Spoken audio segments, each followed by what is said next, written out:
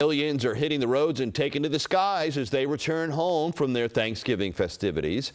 Airports warn passengers to expect delays after airlines canceled thousands of flights across the nation yesterday.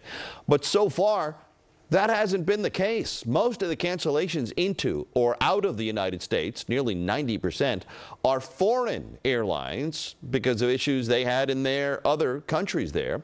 Eyewitness News reporter Lucy Yang joins us from LaGuardia Airport where arrival and departure delays are under an hour. Lucy.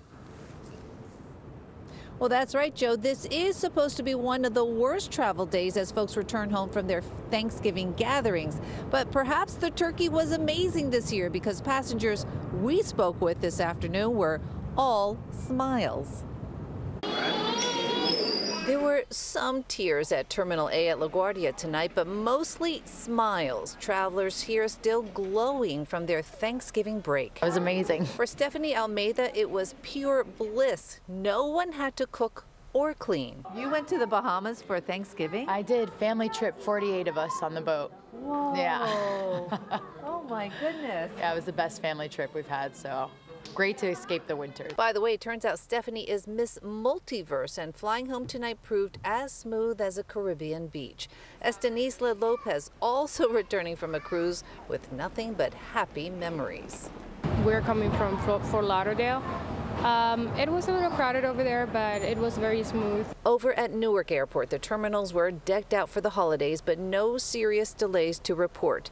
For this college student, getting back to school in Vermont will take just about every form of transportation, but Cody is not complaining. So you had to do a train, a plane, and a car Yep. just to get home from Thanksgiving. Yes. Yeah. Was that Yeah. worth it? Ah, yeah, it's worth it. Uh, Miami was great, so it's nice to get some warm weather.